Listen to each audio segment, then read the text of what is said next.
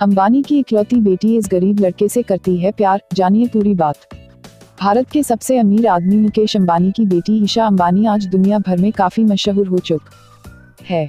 खबरों की माने तो Isha Bollywood film battle of Saragarhi को फ़िल्म प्रोड्यूसर करण जौहर के साथ प्रोड्यूस करेंगी। इस film Bollywood actor Akshay Kumar lead role में होंगे। अभी कुछ पहले करण जौहर के घर पे अक्षय कुमार और ईशा अंबानी की मीटिंग हुई थी, जिसमें फ़िल्म का आइडिया ईशा को काफ़ी पसंद आया। देखा जाए तो अंबानी परिवार में से ईशा अंबानी के बारे में लोग ज़्यादा नहीं जानते क्योंकि वो लाइमलाइट से दूरी ही बनाकर रखती है। यूँ तो मुकेश और नीता की लाडली बेटी ईशा घर में सबसे छोटी है और अभी हाल ही में उन्होंने ये यूनिवर्सिटी से अपनी ग्रेजुएशन पूरी की है, लेकिन आज हम आपको ईशा अंबानी की निजी ज़िंदगी का वो राज जिन्हें आपने सुना नहीं होगा।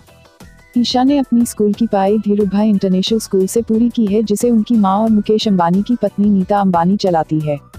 खबरों के अनुसार उनकी मुलाकात उन्हीं की कक्षा में पढ़ने वाल, हर्षवर्धन नाम एक छात्र से हुई थी।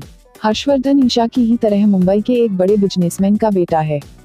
लेकिन दोनों में दूरियाँ उस वक्त आई जब यह बात मानीता अंबानी को पता चली।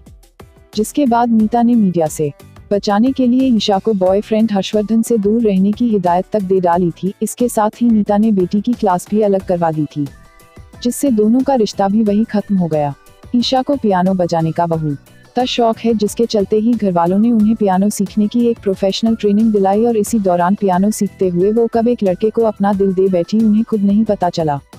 इस लड़के के बारे में कहा जाता है कि ये लड़का एक उमदा पियानिस्ट है लेकिन वो इंडिया का नहीं है।